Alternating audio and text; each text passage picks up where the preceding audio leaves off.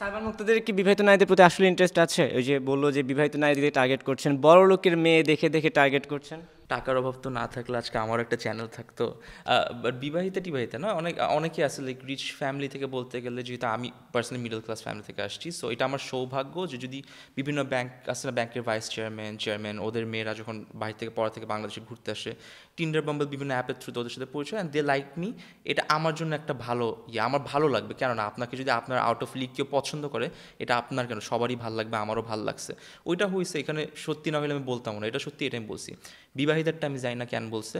আমি পুরা লাইফ টাইমে একবারই একটা মেয়ে পাইছি, যেটা আমি খোঁজ পাইছি যেদিন যে ওই মেয়েটা এখনও ম্যারিড সঙ্গে সঙ্গে আমি রিজেক্টও করছি। ওই রিজেক্ট করার মেসেজ থেকে শুরু করে ফুল ইনসিডেন্ট আমার কাছে এখনও ডকুমেন্টেড আছে যে আমি চাই নাই যে কেউ যদি ম্যারিড থাকে, আমি ওর সাথে কোনো রিলেশনশিপেও যাব না, দেখাও করব না ফিলিং হোক ওয়ান নাইট হোক নাথিং আমি রাখব না বিকজ যার কাছে একটা ফ্যামিলি আছে, আমি কখনো ফ্যামিলি ব্রেকার হব না। হোম ব্রেকার আমি হতে পারব না।